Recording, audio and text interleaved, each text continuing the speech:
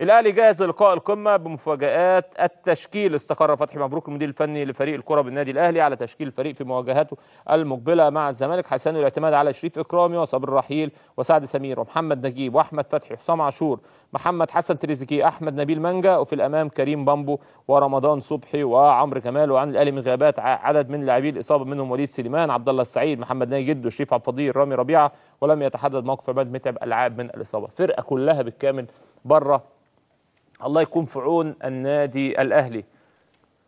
خلاص كده تأكد بالفعل حسام غالي إن شاء الله بإذن الله في النادي الأهلي. أعلن المهندس محمود طاهر امبارح وهو بيزور اللعيبة. قال لهم إن حسام غالي موجود معاكم من السنة الجاية. خبر أنا على المستوى الشخصي أسعدني جدا. أنا الحقيقة حسام غالي ده من اللعيبة اللي أنا بشوفها من أفضل اللعيبة اللي جابتها مصر التزاما وخلقا ولاعيب نص ملعب وأسطى ومنتخب مصر حماس. يعني قول زي ما تقول.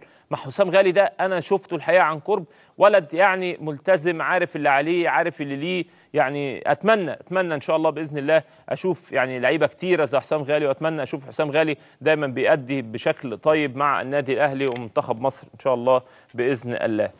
الأهلي جاهز. طيب طاهر يعترف بفشل فش... طاهر محمود طاهر بيعترف بفشل المفاوضات مع أحمد فتحي.